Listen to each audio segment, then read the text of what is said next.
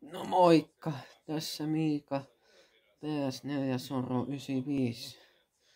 Nyt kerron semmoset uutiset, että mun vanha tietokone hajosi, niin joudun tekemään niin, että mä striimaan sen tämänpäiväisen Suomi-Itävalta pelin tuosta mun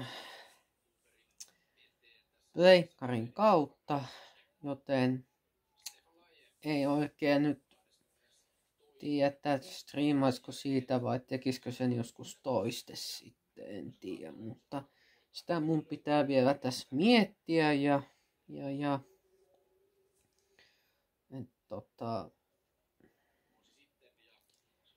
eipä tässä sen kummallisempaa oikein.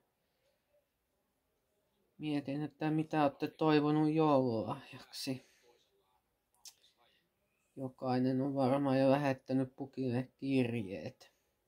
Mä oon jo aikaa sitten jo lähettänyt ja ne on jo viety ne kirjeet. Tänään kävin katsomassa, niin oli viety. Mut joo, ei tässä sen ihmeellisempää muuta kuin hyvää loppuiltaa ja, ja tilatkaa kanavani ja Superjudokat kanava kanssa ja kommentoi, jos jotain kysymyksiä herää.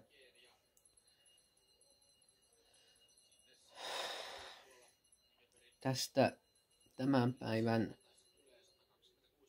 näistä joulua ja toiveista, mitä olette lähetellyt joulupukille, niin kommentoikaa.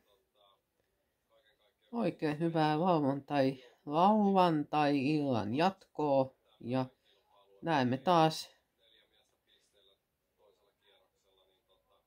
ennen joulutaukoa, niin maanantaina. Siihen asti moi moi!